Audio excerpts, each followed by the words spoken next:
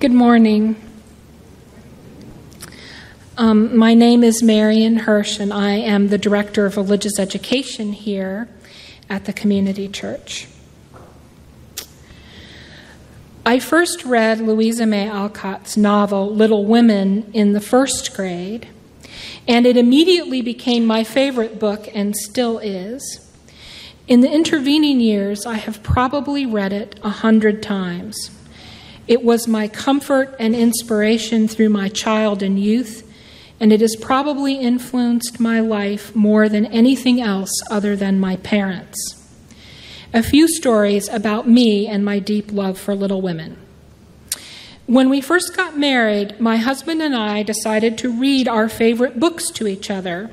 And of course, Little Women was among the books I read to Ken, which I was soon to regret when we had our first child.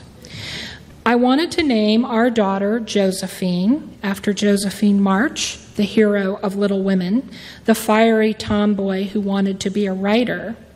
But Ken said, Mayor, we can't name her Josephine. Jo March hated the name Josephine, which, need I remind you, is why she went by Jo. We can't do that to our daughter. And I reluctantly agreed because you can't argue with facts and logic. So we named our daughter Sarah, which was the most popular name for girls in 1990. But Josephine is her middle name, and sometimes I call her Sarah Josephine just so I can say Josephine and remember that she carries that name like a touchstone with all my hopes and dreams for her. And another story about five years ago, over spring break, we decided to visit New York City with our sons to see my brother and his wife, who are sitting in the front row. Um, and we left our dog at home alone, with only a dog walker to come by several times a day. Our dog was so despondent and, dare I say, angry for being left behind that in a jealous rage, he tore my childhood copy of Little Women into shreds. The rest of the house was tidy, and all the other books were intact. Little Women alone was totally destroyed.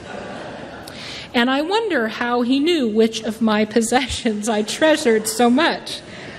Ken says it was the thing in the house that smelled most like me. So, yes, Little Women is a book I love, and I am not alone in my enthusiasm for this book.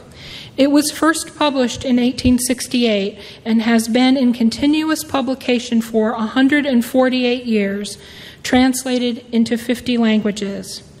It is particularly beloved and read by girls around the world.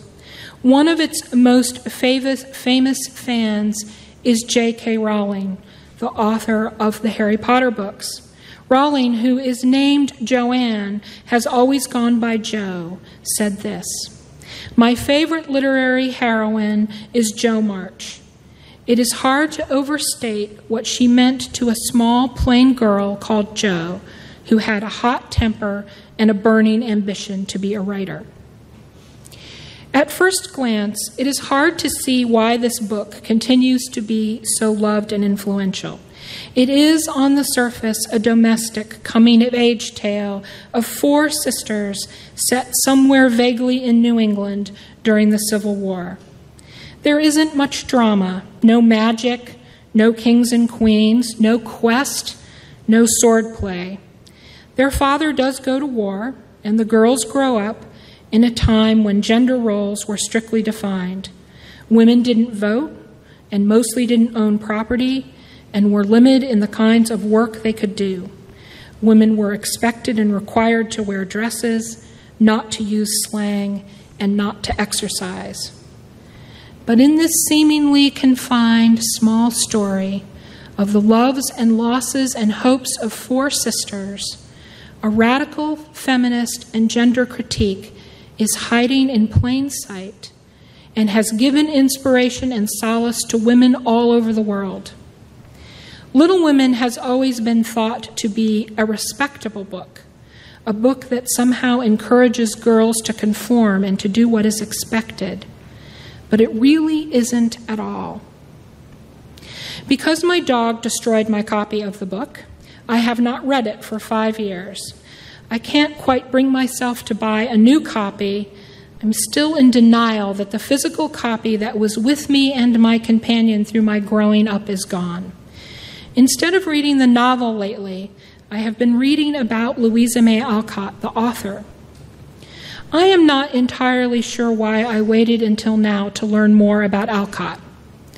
It is partly because the book Little Women is semi autobiographical.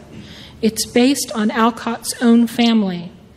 The heroine, Josephine March, is based on Alcott herself. The book has such a strong voice and authenticity. I felt as if I knew all I needed to know about the author. And to be honest, when you find out about the life of a favorite writer, musician, composer, director, you will probably find that they are deeply flawed, as we all are. And then knowing that can erode your love for the book, the piece of music, or the movie, which I have been unwilling to risk with Little Women. And since Louisa May Alcott was Unitarian, I have been doubly reluctant to find out more about her. What if she, my co religionist, is flawed? Many of us who were adult converts to Unitarian Universalism didn't even know that Unitarian Universalists existed when we were children. I mean, we might have heard Garrison Keillor making fun of Unitarians on the Prairie Home Companion, and we might have known that the hippie kids in our high school were Unitarians, but we really didn't know what it was all about. And then when we discovered UUism as adults, we had the experience of aha, of homecoming, of finding our people, of intense relief. This sense of, oh, I was always Unitarian Universalist, but I didn't know it. Before I learned that Louisa May Alcott was a UU, I liked being UU, but I wasn't 100% sure about it. But then when I found out that Alcott was a Unitarian, my misgivings vanished. I was euphoric. I thought, it all makes sense. Of course I'm Unitarian Universalist. Of course I am. I basked in this happy coincidence for many years without much further curiosity, but in the fast, past few months, I have been reconsidering Alcott and Little Women. This seems now urgent because we are putting on the play of Little Women right here at the church, November 11th, 12th, and 13th. And as you may have heard, we need somebody to play the role of Hannah. So I have so much to say about Little Women in Alcott. I could talk for hours. Honestly, I have 20 minutes of thoughts and reflections that I've cut from this talk that are in a separate document called Outtakes. Choosing what to share with you is a challenge. But I think the most important thing is understanding Jo March as a feminist hero because that is what continues to be important to her readers. Jo March makes two important decisions in Little Women around which all the drama, such that it is, revolves. One is that Jo decides to pursue being a writer. And in the context of the 1860s, aspiring to be a writer as a woman required more internal fortitude than aspiring to be a writer as a man did. Though, then as now, committing to the arts is always a risky aspiration, whether you are a man or a woman. And Jo has always been an inspiration for women who wanted to be writers. Jo's other decision, which was even more radical in truth, was not was to not accept the marriage proposal of her best friend, Laurie, a boy her age who was madly in love with her. She turns him down firmly and kindly and breaks his heart. Little Women was written in two parts, published a year apart, and from the start, the book reads as if it is going to be a romance novel. In the beginning of the book, Laurie meets Jo, and it is clear right away that Laurie is keen on Jo and a romance will blossom. And it seems to be the point of the whole story, in fact. A coming of age story about a young woman is a story about her finding true love with a man, right? A true love who is handsome and rich, which Laurie is. When the readers of the book were waiting for the second part of the book to come out, they were clamoring for Jo to marry Laurie. They wrote Alcott incessantly. But when Alcott wrote the second half of Little Women, Jo refuse, refuses Laurie's marriage proposal. The readers were crushed. Jo was adamant that Laurie was her best friend, but she was not in love with him. And instead, Jo pursued her writing, and then to top it all off, she ended up marrying an older man who was serious, an immigrant, not handsome, not rich, a Mr. Bhaer. So unromantic. This still seems like an unexpected plot twist even today, a subversion of our expectations, and it crushed readers and it still crushes readers. When I talk to people who've read Little Women, everyone talks of their disappointment that Jo doesn't marry Laurie. Yet, this is a beloved book despite that. How can an author who so disappointed readers still remain in print after nearly 150 years? The reason is is that Jo listens to her own voice and retains her freedom and characters who live listen to their own voices are always heroes. Alcott marries Jo off to Mr. Bhaer to keep Jo free.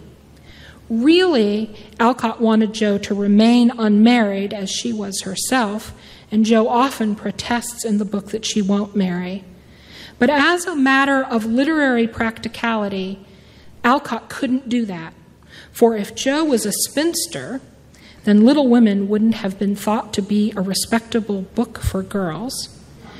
And more importantly, readers would always be hoping and imagining that Jo would eventually end up with Laurie. Alcott did not want readers believing that a woman is truly completed by marrying the right man. Mr. Bhaer is unromantic and unattractive to the young reader on purpose.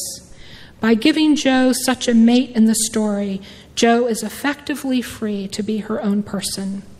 And Mr. Bhaer is too dull a character to complete Jo, so fortunately, Jo does not need to be completed.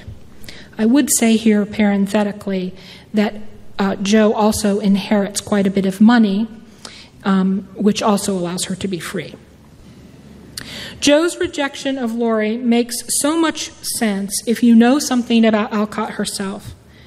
Alcott never married, and not because she didn't have suitors. She knew what many feminists at that time knew, which was that to marry was to give up all hope of independence and a career outside of caring for a husband and children. She came from an unconventional family. Her father, Bronson Alcott, was an influential transcendentalist and radical and a noted educational reformer and lecturer and writer, but he was entirely incapable of earning a living. Her mother, Abigail May, was brilliant in her own right and from a wealthy Boston Unitarian family. Her brother and uncle were both prominent Unitarian ministers. However, due to Bronson's inability to keep steady work, Abigail had to support her family, often in menial jobs. She was one of the first social workers in the United States. The Alcotts, though they were neighbors with Ralph Waldo Emerson and Henry David Thoreau, and were central members in the circle of transcendentalists living in Concord, Mass., they were desperately poor, often depending on charity from their more fortunate neighbors. Louisa saw from her mother's life and choices that married life was a bad deal for women with creative ambitions. Louisa resisted marriage to become a writer, and it turned out that writing Little Women made her fabulously wealthy. She made over $100,000 on Little Women, which is an enormous fortune at that time. Alcott ended up providing for her whole family, and she never married. She wrote many books for children and some for adults under her own name, and recently it has been discovered that she also wrote prolifically under pen names as well. She wrote pulp fiction secretly. But Alcott's radicalness is not just confined to wanting independence for women. Her critique of gender roles was more fundamental, and it can be seen in the character of Jo March and mirrored in her own life. In Little Women, Jo is an, in open rebellion against conventional notions of womanhood. She takes a masculine nickname, Jo. She cuts her hair short. She uses slang that is reserved for men. She calls herself a fellow. She whistles and she plays rough. She is called a tomboy even at 16 when many girls outgrow that. And this is no literary accident of good storytelling or an added element of drama. Alcott often wrote of feeling like she was a man in a woman's body. When she was a child, she could run faster than any boy, and she frequently walked from Boston to Concord and back in a day, which was 20 miles each way, which was unusual behavior for a young woman. She wrote when she went to work as a nurse in the Civil War I have often longed to see a war, and now I have my wish. I long to be a man, but as I can't fight, I will content, content myself with working for those who can. Alcott said this in an interview in 1873 I am more half persuaded that I am a man's soul by some freak of nature in a woman's body.